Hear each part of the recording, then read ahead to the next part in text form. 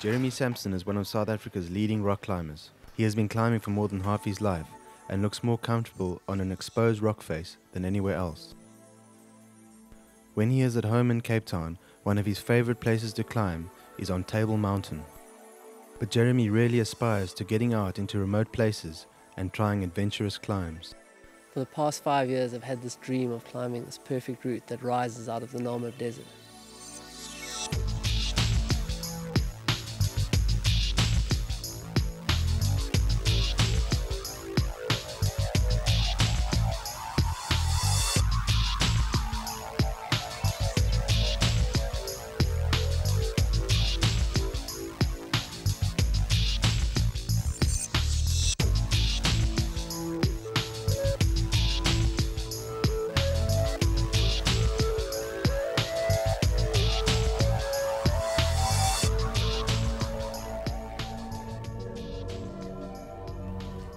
Called In Excess, and it's on a mountain in the middle of Namibia called Spitskop. Rising to nearly 1,800 meters above sea level, the climb follows a blank brown water streak up the southwest face of the mountain. Because of the dangers and difficulties, there have only been two ascents of the route. It's got a serious reputation. The one thing that Jeremy's been missing all along is the perfect climbing partner. Someone completely dedicated to the cause. Someone who is all or nothing. Justin Hawkins is an incredibly powerful climber. Although he seldom climbs long routes out in the mountains, he is extremely competent. Justin has competed in sport climbing competitions all around the world. I mean, definitely the reason why I climb is for the movement. It's that's something that gives me enjoyment, whether it's any type of climbing. I mean, it's and I find that with sport climbing you can push yourself harder. I mean, it is purely just the movement. Justin's forte is climbing extremely hard short routes at a very high grade. He's not really that familiar with being out in remote areas trying longer routes. But having said that, I think Justin is able to pull it off because he's, he's often climbing below a level lower than what he's accustomed to climbing. Yeah, the thing about climbing with Justin, which I really enjoy, is the whole focus on your outing is having a good time. Both Jeremy and Justin are used to climbing steep, hard routes. Normally there are good handholds, but in excess is slab climbing, which is a completely different thing. So they'll need to put in some friction training. I got really psyched when Jamie asked me to try and climb in excess of them because uh, I knew it would be a very big project for me. It doesn't have big handholds, it's all friction climbing. For me, it was like starting out from the beginning again.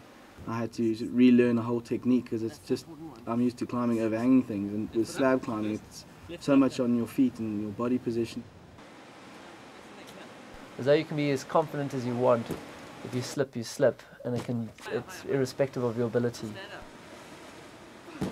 It's just like one continuous slab for like half a kilometer, and it's desperately hard, and the holds are really small, and your feet start burning, and your fingertips get trashed. It's not a nice thing to be doing on your holiday. If there were like three people in an aeroplane and two parachutes, Justin would take both of them. in terms of slab climbing, I've had no experience, and so it was really good training. I mean, Jeremy helped me a lot with my slab climbing because it is, I mean, it is a confidence game and it is a technique thing. I, mean, I do most of the climbing in the in the relationship. This is our hero pawpaw. This is a lump of granite. As you can see, instead of like sandstone, it has a much rougher appearance. You get these feldspar, these sharp quartzitic crystals that extrude from the granite, giving it a rough cheese grater-like appearance. It's also not as steep as sandstone, so instead of falling away from the rock, you'll scrape against it as you fall off, much like this pawpaw.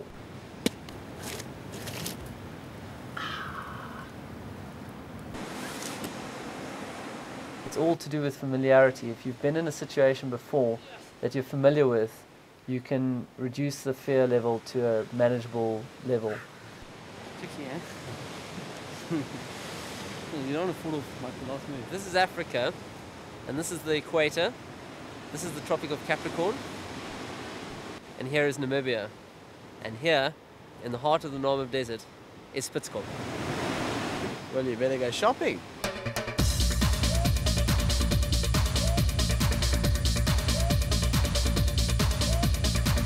Do you have any plasters?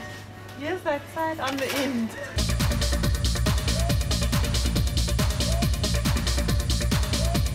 Last fish.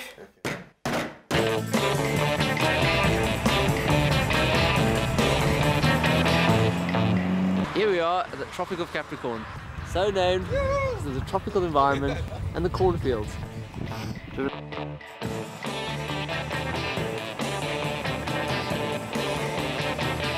The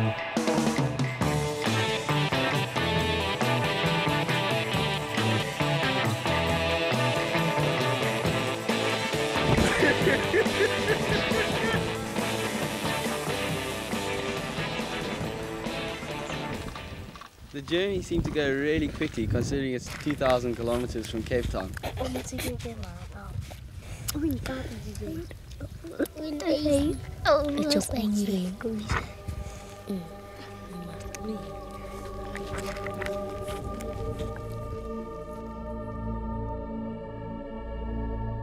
When I first saw Spitzkop, I was completely blown away. It's, it's just this massive granite spike sticking out of this flat desert. You get these beautiful sunsets with these long shadows. It's an amazing place.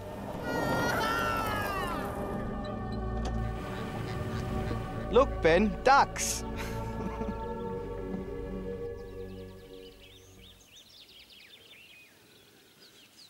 Oh my god, that looks far. Having come here now and seen it again, I think I'm feeling more confident. I think it should be fine. I can't see any checking? bolts. Well, then there's no point in looking further. Give me back the, give me the binoculars. Jeremy and Justin were going to have to be patient on the first day. The logistics of the climb and the filming had to be sorted out first. Judging by the respective piles of equipment, the filming looked like it might be more hard work than the climbing. The, the anchors are on both sides. It, it's not doesn't just go straight up. We, the Fresh Air crew, were going to have to rig 500 meters of fixed lines so that we could get good camera positions and follow the climb the next day. This bitch you just shoot from the right here. You move a hell of a long way over. The climbers kept their distance so that the route would all be new to them. In excess follows the most blank line up the face, and some of the bolts up to 12 meters apart. It's definitely the long runouts between the bolts that give it the serious reputation. The route was first climbed in 1991 by Mike Cartwright, Kevin Smith, and Martin Seegers. It took them many trips to the mountain, six months of hard work and two broken ankles to finally complete the route. It's 13 pitches, about grade 25, and it was an incredible achievement. It's consistently hard from bottom to top. I've only been above 50 meters once before, so I mean, it's gonna be high. Jeremy just likes people getting scared. He likes to be there watching people getting scared. No, you'll be fine. Always, fine. no, it's your type of climbing. You're easy. Yeah, you lead this pitch. This is the easy one, and I'll get up there, and it'll be No. a five meter run out, and I'll be crying.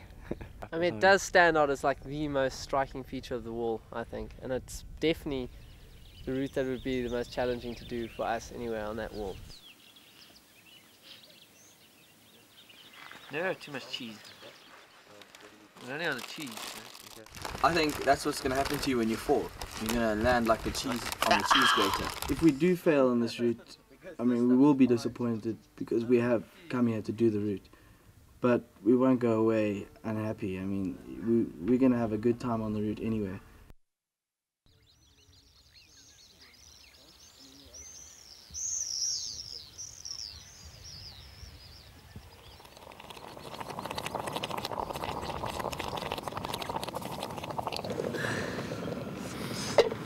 Part of my daily ritual for the last decade. Justin, you ready to go? Justin,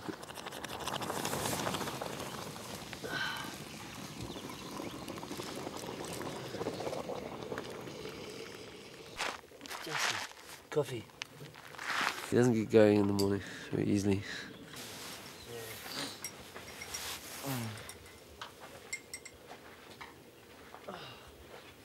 Can you chuck me a, a rusk, please?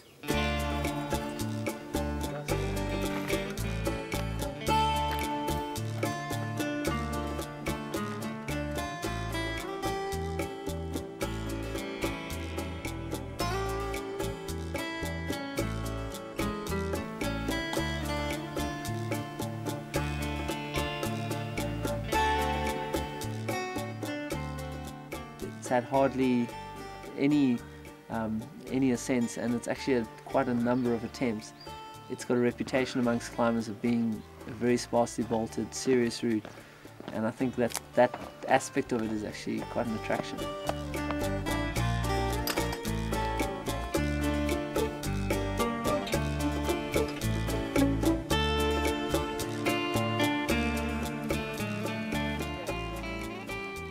Quite sort of anxious. I want to kind of get going. It looks looks cool. I want to get up there. We pulled straws last night.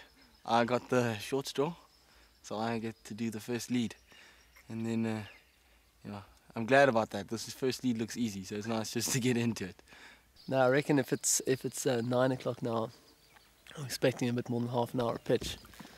So we will get to the top at the earliest at about three or four. So it's going to be quite warm. What you eating? Protein. it's going to be a big, big thing, I think. Definitely, I mean, I know if we repeat this thing, it'll be probably one of the biggest achievements in my climbing career. We can help each other quite, quite a lot, I think, and that's important on this kind of route because, you know, you can start losing focus or start tiring out, and it's important to have someone there who's, who doesn't piss you off. This is my rope, the umbilical cord, as you would say. The fine line between dying and living. Mm-hmm. Don't know if these will work. It's what the first couple of pitches are for, to try out all the different techniques. You see, I've got my tape on my hands. Basically, if we fall, I figure it's going to be something like. Ah. And the elbow pads are going to slip. Underneath all this protective clothing is my mate Justin, and I can't, I can't believe I'm climbing with such a dork. Who's your daddy, eh? This baby's coming home safe and sound. this is it. One small step for man, one giant climb for mankind. Somebody. Yeah.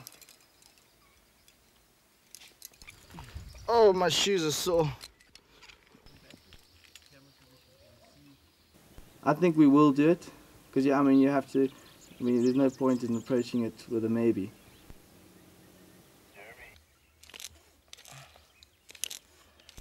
To me, in excess is a big challenge just because it's in a remote place and it's hardly had any repeats of it. I mean, a lot of people have failed on the route just because. I mean, it's just so out there and it's so long and the bolts are so far apart. You are watching me, eh? I'm gripped on one of your casual below. I know that's how Jeremy approaches things. He you kind of just get cocky with the rock and just start saying like, you know, I'm better than you, and I think that's that, that's the way you overdo it. You can't arrive there being scared from the beginning. I don't think. Believe I'm here. Woo! I mean, that's two down. About ten to go. How's your feet? I'm I'm in agony. it's, it's in the shade and it's only a second pitch and it's the easiest climbing as well. This isn't a very good sign. You're on belay, you can climb when you're ready.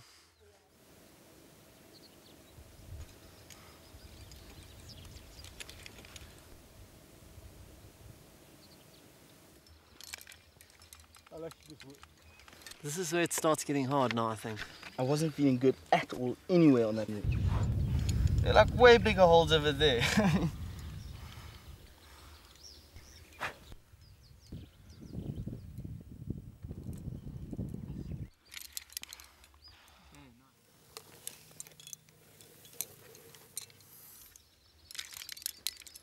Go on, relax. You, you got slack.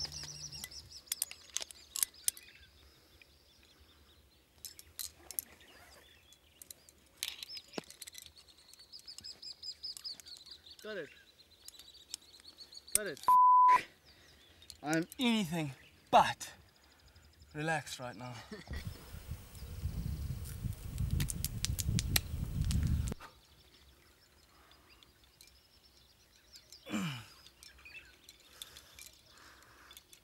this is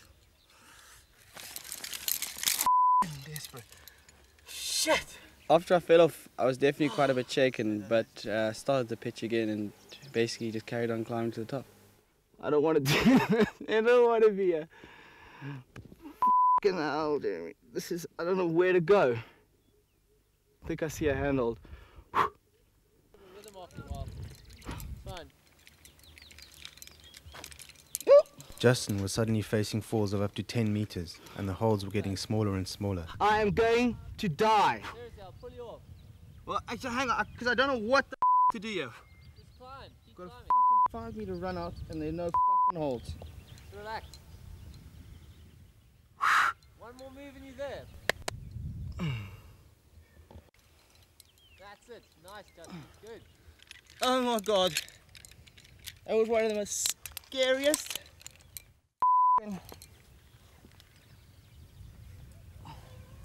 life threatening things I've ever done. You! know, Look how long it is. That means nothing.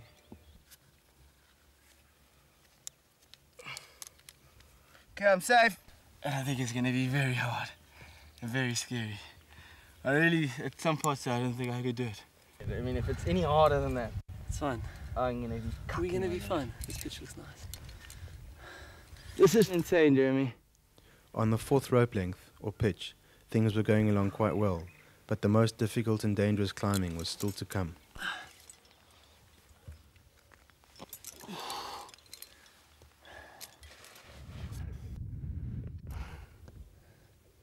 Watch yourself. Quite crumbly here.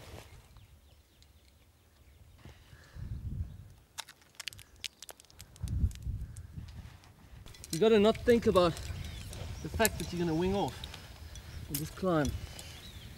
Where are you're gonna end up. Justin, I wonder how Spitzkop was formed. Well, Jamie, the supercontinent of Gondwanaland broke up into six continents. This magmatic phase ended about 100 million years ago. Since then, the layer around Spitzkop has gradually been lowered. In fact, it used to be as much as a kilometer higher. This so-called lowering of the surface around Spitzkop forms what we call Inselberg forming. And that is how Spitzkop was created.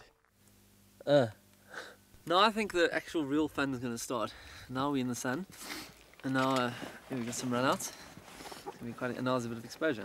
It's gonna be quite fun. How are your fingers doing, Joe? Your fingers, not actually, they don't take too much. Not as bad as I thought, but the, It's your feet. it's gonna stand up on your feet. Once you're above it, it's fine. It's Mm. gotta hang loose, relax, you know. It's fun. I don't like getting scared.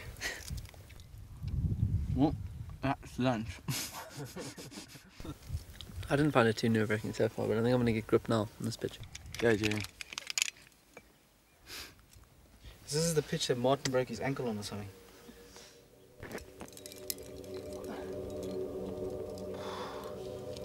All these high steps freak you out.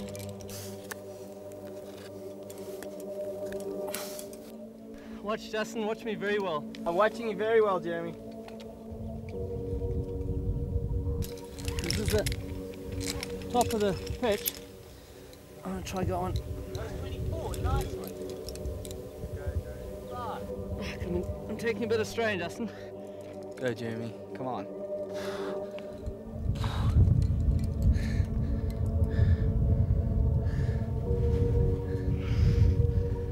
Ah, it's hard. One of Jeremy's dreams on the climb was to link two of the hardest pitches into one. Watch.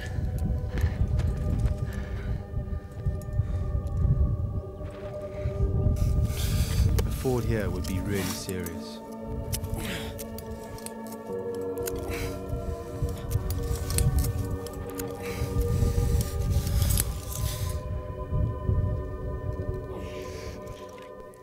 By completing this lead, he probably upped the overall grade of the route.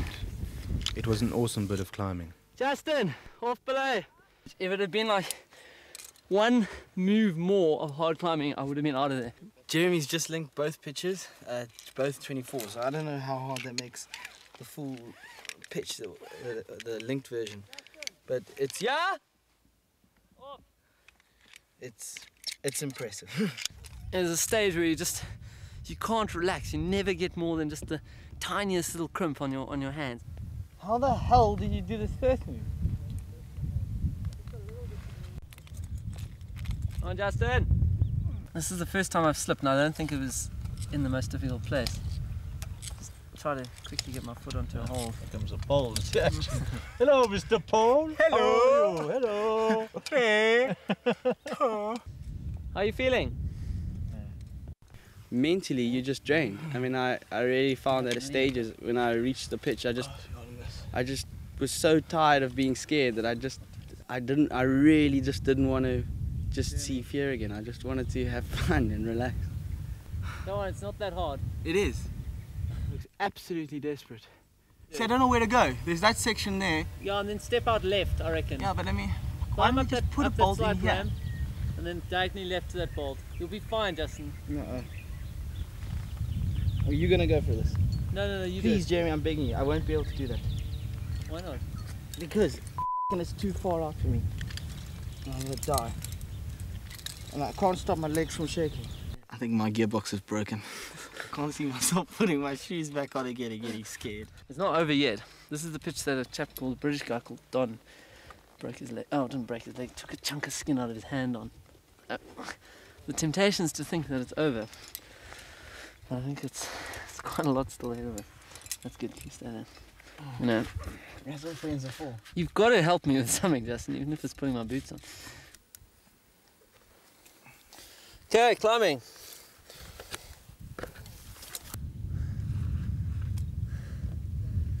It's also got that slippery kind of glassy feel about it.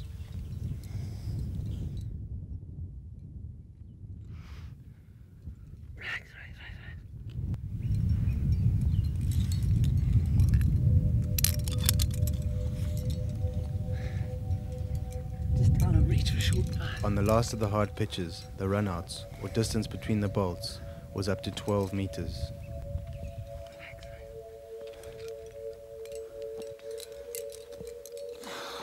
A mistake now would mean a monster fall. Oh, thin. Really, really thin. he falls. That's not gonna be nice.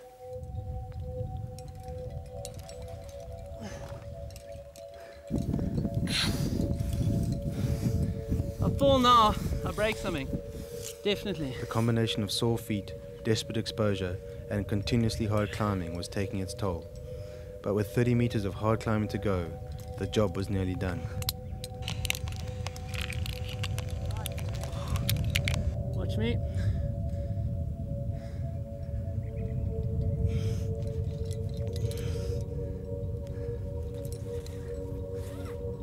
That was desperate. Shit, that run out's far. Nice one. That's my boy. But that was that was really scary. Good job. With the difficult climbing done, it was now a formality for Jeremy and Justin to complete the route and fulfill one of their dreams. it's kind of an intense enjoyment that you get and a sense of fulfillment when you've done something that is very difficult. I'm drained. I can't do, I can't do any more of this. Yeah. Some of the pitches up there, he was facing some big falls. I learnt a lot, and it was so much fun climbing with him. I like the aspect of going out and having an adventure, having had a really rewarding experience. And often, if you're frightened, it just enhances the experience so much more.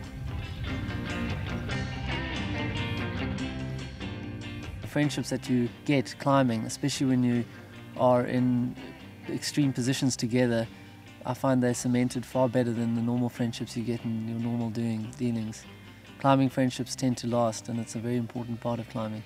It, and it was a really memorable experience climbing with Jeremy. I mean, he climbed it really well, and we had a good day out.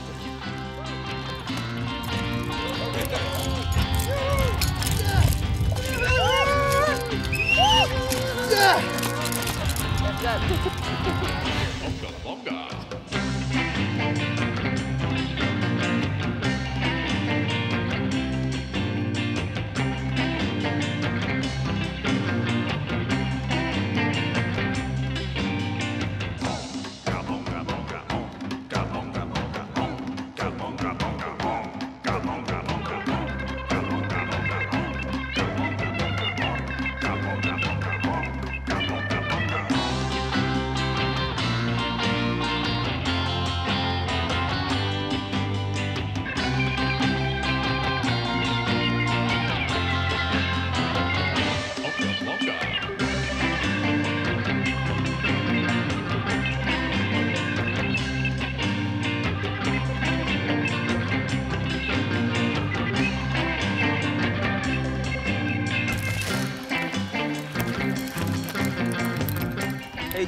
Let's do that.